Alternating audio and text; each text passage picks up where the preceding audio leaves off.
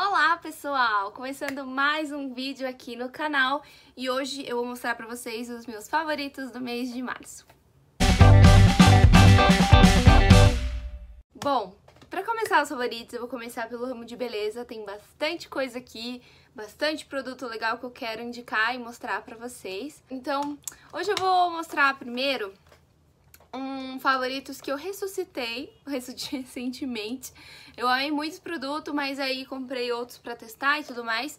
E aí meio que deixei um tempinho de lado, sabe? Mas ressuscitei, tô usando de novo e tô amando, amando, amando, que é a Sweet Peach da Too Faced, que é uma paletinha que tem contorno, blush e iluminador. Como vocês podem ver, a minha já tá bem usadinha, inclusive estou usando ela hoje. E, gente, essa paleta é tudo, ela é completa. A pigmentação é surreal, ela fica muito no rosto. Eu acho que o bronzer e o blush combinam muito, muito, muito pro meu tom de pele. Então eu amo demais, demais mesmo. Então não podia deixar de favoritar aqui, porque realmente é um produto que eu gosto, que eu uso e que eu acho que vale a pena. Eu comprei ela na promoção na Sephora e acredito que às vezes eles coloquem umas promoções doidas, então se tiver afim, ficar de olho, porque essa paleta vale muito a pena. Agora indo para um favorito mais recente, assim, eu fiz uma comprinha e eu queria muito, muito, muito um gelzinho de sobrancelha que já pigmentasse e já desse uma preenchida nela, mas também não ficasse muito grosso, muito pesado. E aí eu pesquisei algumas e eu vi que no site da Beleza na Web tava com alguns produtos com desconto. Até que eu achei essa mascarazinha aqui da Essence, inclusive apareceu no meu Instagram, bastante gente me perguntou qual que era. E é essa daqui da Essence, e sério, eu tô amando, porque ela preenche, mas ela deixa natural, sabe? Do jeito mesmo que eu queria. Então eu tô adorando, ela não deixa a sobrancelha dura, então se você quer aquela, aquele gel pra deixar a sobrancelha dura, não é esse. Essa aqui é mais pra preencher mesmo. E eu amei muito. Essa cor aqui é a 2 Brown, 2 Brownie Browns. Ela é mais escurinha, então ficou perfeito no meu tom. E eu tô amando esse negócio. Bom, próximo favoritos. Bom, próximo favoritos, vamos para uma região, assim, uma coisa íntima nossa, entendeu? A gente sabe que todo mundo tem CC normal, tem gente que tem mais, tem gente que tem menos. E por muito tempo eu usava é, desodorantes em aerosol, mas senti que não tava mais gostando tanto. E aí um dia eu resolvi testar esse desodorante aqui, que é o desodorante da Ban. Não é um desodorante barato, mas assim, gente, digo pra vocês. Eu tenho esse desodorante há muito tempo. E, cara, ele dura uma eternidade, vocês não estão entendendo. Assim, é, é uma coisa de doido. Você usa, usa, usa, usa, usa e, tipo, parece que não sai do lugar, sabe? Então eu acho que vale muito, muito, muito a pena, porque realmente segura, você não fica com CC, então eu amo esse desodorante da Ban não podia deixar aqui de favoritar ele pra vocês. Agora vou mostrar pra vocês um demaquilante. É, por muito tempo eu achava estranho demaquilante em óleo, porque, querendo ou não, nossa, como assim demaquilante em óleo? Vai deixar minha pele oleosa e tudo mais. Até que eu descobri os da Bioré, que são demaquilantes em óleos maravilhosos. Já usei tanto o roxinho quanto o rosinha. O rosinha meu, inclusive, acabou. E amo muito, amei muito, porque realmente tira, não fica com resquício na pele, sabe? Então, eu amava. E aí eu sempre tive muita vontade de testar os da The Body Shop. E, gente, essa latinha aqui é tudo na minha vida, juro pra vocês. Dura muito também, não é um produto barato, eu sei, deve custar...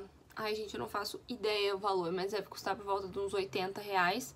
Mas, gente, isso aqui dura uma vida, porque, juro, você usa... Deixa eu pegar aqui um pouco. Você vai usar isso aqui, ó. Só. Você pega isso daqui, você espalha nas mãos e depois traz no rosto. Gente, sério. Ele tira a maquiagem lindamente. E depois é super fácil de tirar, sabe? Porque tem alguns demaquilantes em óleo, tipo da Salve, por exemplo, que você tem que lavar o rosto, porque senão não sai. Ah, o balmo, assim, não sai. Eu, sinceramente, não curto muito esses produtos. Prefiro esses que eles você molhou, ele já vira uma emulsão e aí ele já sai ali mesmo, já derrete a maquiagem e já faz o papel Agora, dele. Agora, indo para um recente amado da minha vida, que é uma comprinha que eu fiz recentemente também. E, gente, na hora que chegou isso daqui em casa, juro pra vocês, eu quase tive um treco. Porque eu entrei no site da Beleza na Web e tava algumas coisas em promoção, da Semana do Consumidor e tudo mais. E eu queria muito esse item há muito tempo, mas eu achava caro e falava, ai, não sei se vale a pena e tudo mais. Mas eu queria muito, porque eu amo skincare, amo coisas de skincare, então achei que valeu muito a pena. E é esse kitzinho aqui da Oceane de pedra de quartzo rosa. E, gente, é lindo! É lindo, é uma delicinha. Ó, vem assim, ó. Vem o rolo de jade e a pedra. E real é uma pedra mesmo. É, eu tinha ido um tempo atrás, um tempão na verdade, na 25 de março. E na 25 de março tinha, mas não era pedra. Era tipo um plástico assim, sabe? E aí eu falei, meu, tipo, não queria um plástico, eu quero uma pedra mesmo, sabe? Porque é o proposta do negócio, entendeu? Então, eu achei esse daqui da Oceane. E eu amei, tem o, tem o verde também. Mas esse aqui era o que vinha no kit, era o rosinha. E eu amo rosa, então amei muito. A minha favorita é a pedra, porque, gente, ela é muito geladinha. Se passar aqui assim... Ai, é tudo, sério. Aqui, ó, pra desinchar. Ai, é uma delicinha. Então, fazer skincare e depois usar, ou até usar junto no skincare, sabe? É muito bom. Então, ai, gente, eu amei isso aqui.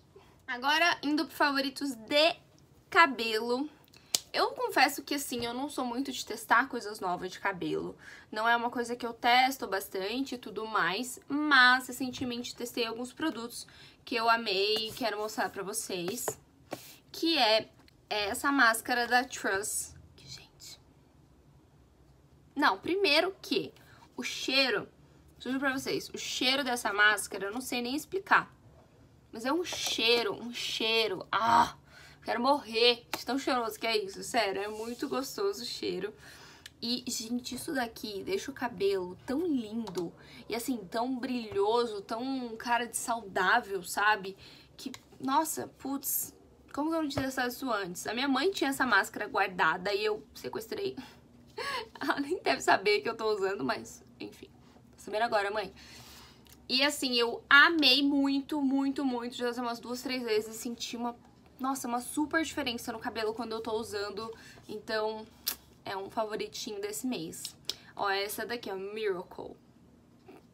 Maravilhoso. Agora, um outro favorito de cabelo Uh, por muito tempo eu passava chapinha no meu cabelo todos os dias. Sim, eu fazia essa besteira. Não façam isso, pelo amor de Deus. E aí, eu não usava protetor térmico, eu não usava nada e tudo mais, até porque naquela época não era muito conhecido. Mas eu quero muito, muito, muito indicar pra vocês um Livin que eu sempre vi as pessoas falando que era muito bom e tudo mais, mas nunca tinha testado. Até que... Gente, eu testei.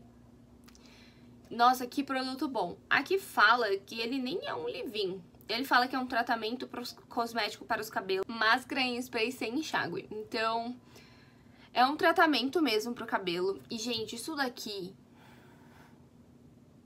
Juro pra vocês, eu senti real uma diferença no meu cabelo.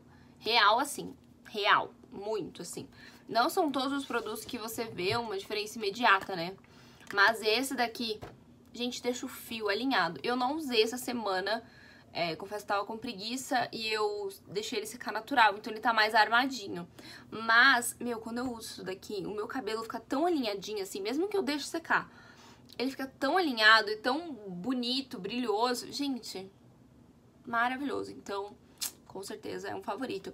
E se vocês quiserem, porque não é um produto muito barato, né? Mas se vocês quiserem, tem uma lojinha a gente tem uma lojinha de importados no Instagram.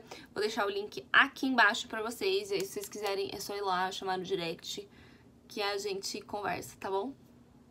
Mas é o favorito, eu amo. Agora, se você é menor de 18 anos, meu querido, sinto muito, mas isso não é pra você. Mas eu vou indicar um drink, porque sim, porque eu amo drinks, eu amo vinhos, eu amo champanhes e é isso, entendeu? Nessa quarentena provei alguns, indiquei alguns até no meu Insta, se vocês quiserem ver tem um post lá indicando alguns dos meus vinhos e tudo mais, favoritos, alguns baratinhos, alguns mais caros e tudo mais. E hoje eu vou indicar um super barato, que gente, é muito barato esse vinho, eu acho que eu paguei uns 20 reais no, no, no atacadista. Mas ele é tão gostoso. Se você gosta de vinho mais doce, eu amo vinho doce não tenho frescura pra essa de tipo, ai, ah, tem que ser seco. Não. Eu gosto bastante dos vinhos mais docinhos. E por isso eu vim indicar pra vocês esse maravilhoso vinho, que é o Saint-Germain. É um moscatel. E, gente, esse vinho... Tão gostoso. Sério. Sabe aquele vinho que você toma e é leve? Então você consegue tomar tranquilo. E assim, é muito gostoso, muito... Ele é muito bom. É um vinho que, se eu não me engano, é gaúcho. É, é do Rio Grande do Sul. Então é um vinho que realmente é mais barato por ser brasileiro. sei que não tem nada a ver, mas enfim. Eu amo, amo, amo esse vinho e ele é super barato, então o custo-benefício dele é maravilhoso. Então, ele é muito legal pra fazer sangria, então fica uma delícia você pegar e colocar ele numa jarra, colocar uva, maçã verde, uh, hortelã, gente, fica tão gostoso, sério. É muito bom esse vinho, eu acho que vale muito, muito, muito a pena. Agora vou mostrar um, uma bebida também. Já mostrei meus favoritos do final do ano, né, de 2020 pra 2021. Que eu amo as bebidas, os xaropes da Monin. E, sinceramente, tudo pra mim.